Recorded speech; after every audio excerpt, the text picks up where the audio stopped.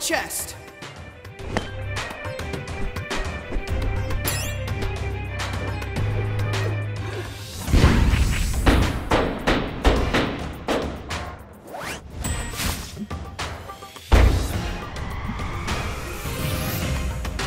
I love you, Jala. I have loved you since our hands met reaching for the same tub of lime green Play Doh in third grade.